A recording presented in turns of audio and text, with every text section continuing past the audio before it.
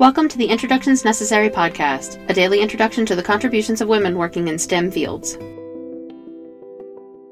On July 19, 2013, the Cassini spacecraft turned to take an image of much of our solar system that included Saturn, its ring system, many of its moons, Mars, Venus, and the Earth while it was being eclipsed by the Sun.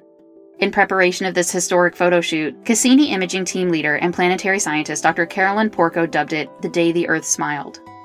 The day was proposed as a time for the world's people to reflect on our place in the cosmos and look up and smile, as this was the first time that we had advance notice of our picture being taken from the outer solar system. Under Porco's direction, the processing of the 323 images taken was completed at the Cassini Imaging Central Laboratory for operations, with the final mosaic image being released four months later to great fanfare and celebration. This wasn't the first time Porco was part of a historic image of the Earth. In 1990, she co originated the idea for a series of images dubbed Portraits of the Planets, taken with the Voyager 1 spacecraft, which includes the famous pale blue dot image of Earth. She is the leader of the imaging science team on the Cassini mission that was in orbit around Saturn until 2017, and is an imaging scientist on the New Horizons mission that wowed the world in 2015 with images of Pluto and its moons. Since 2015, she is also a visiting distinguished scholar at UC Berkeley.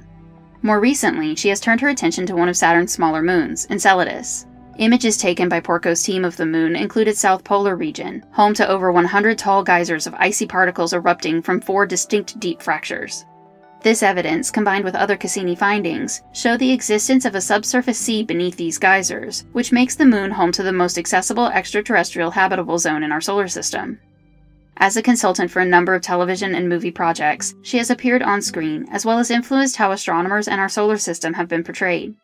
Porco has been celebrated numerous times, including being awarded the Carl Sagan Medal, the Eliza Scidmore Award from the National Geographic Society, and Asteroid 7231 Porco being named in her honor.